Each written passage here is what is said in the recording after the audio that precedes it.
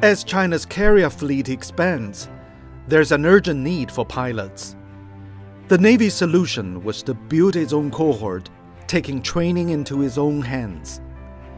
Yuan Mingzheng was in the first group of cadets in 2017, a pilot of Generation Blue Water. 即使有一米的偏差，也要去修正，要立即的修正回来，方向上不能有一度的偏差，啊、呃，失误的后果可能会是机毁人亡。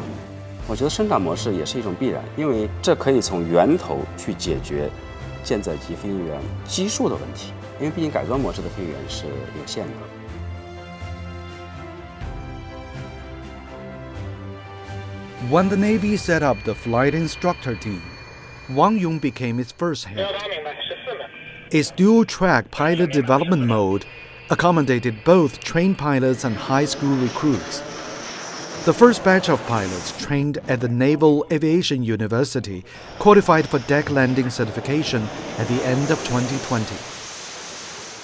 记得去参加认证的当天，当时在航线上有大片的黑云遮挡在前面。嗯、呃，当我穿过这层云雾，到达云层之下的时候，面前的一切都豁然开朗。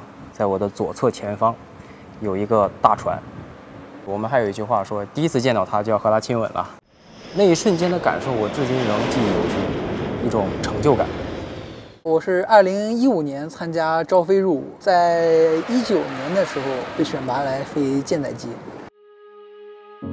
Wang Peng is the youngest carrier pilot in his cohort.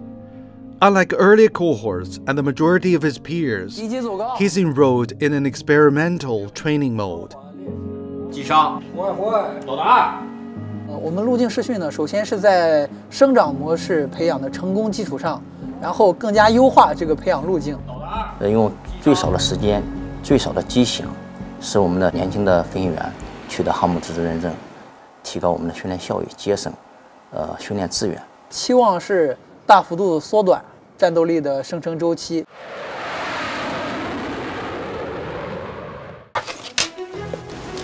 Fewer flight hours, fewer plane types, while acquiring all the necessary skills. 以前的这种院校培养，大部分集中在基础技能这一块，而我们现在这种院校培养，更多的是做到了战训一体，从一名飞行学员到成长为一名舰载机飞行员，再到一名战斗员，在院校全程可以完成，这也是时代的要求，时代的选择，我们需要培养更多更优秀的航母舰载战斗机飞行员。Both instructors and cadets. must constantly push their boundaries. Peng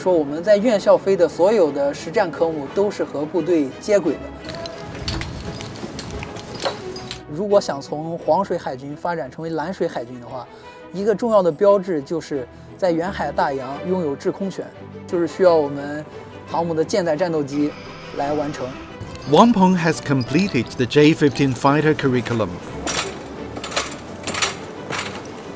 He qualified for daytime carrier landing in 2022.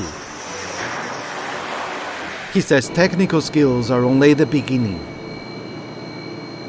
到部队呢，我想说进一步锤炼自己的战术素养，使自己真正的从一个飞行员完成向战斗员的转变。未来可能会面临到的冲突，害不害怕这种牺牲？嗯，作为军人呢，我觉得这是我们的天职，唯一想的就是如何能打赢。